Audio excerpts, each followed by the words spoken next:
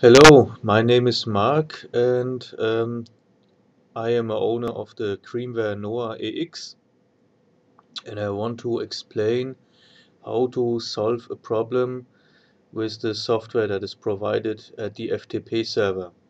As you probably experienced yourself, when you download uh, the latest version of, of the Creamware Noah driver, uh, version 1.1, it can happen that uh, some modules are not uh, visible anymore or other modules cannot be loaded anymore.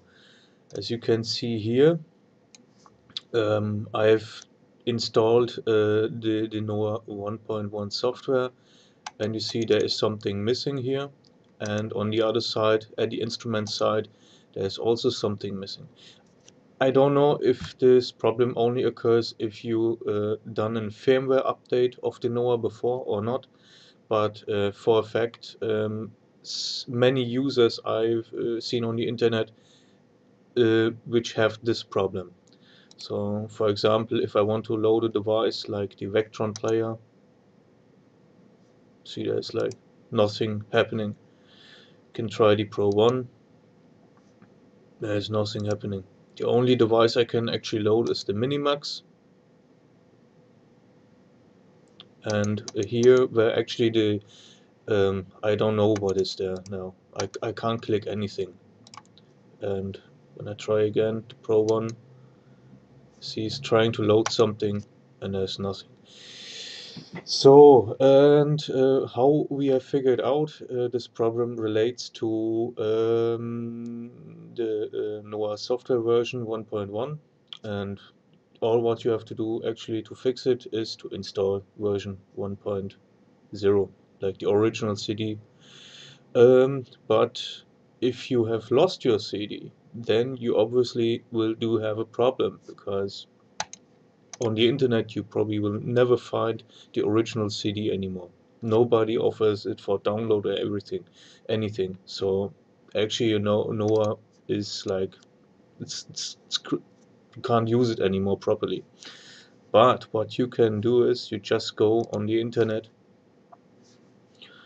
and go onto my homepage, which is fso.net16.net you can skip the intro and click on Technik Know-how.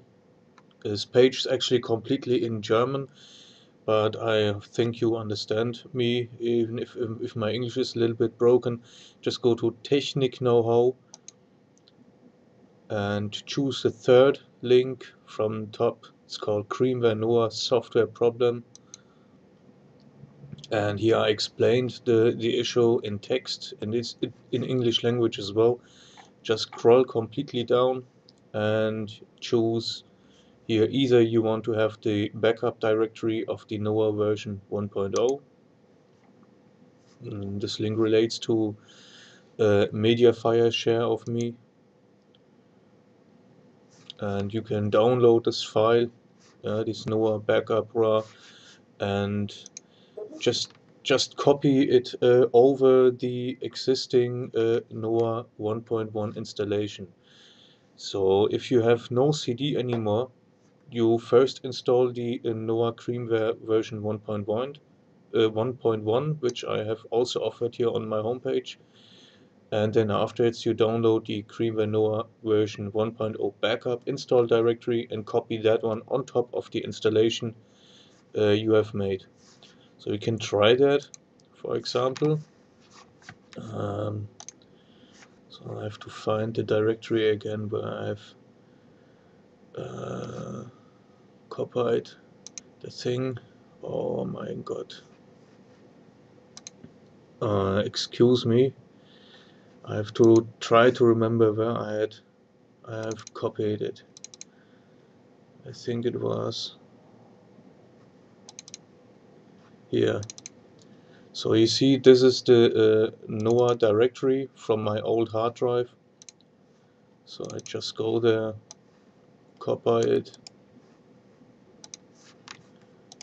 open the Explorer, go to the existing C NOA directory, which is the installation directory of the 1.1 version. I know you shouldn't do this, but it is working. Yes, replace. Yes.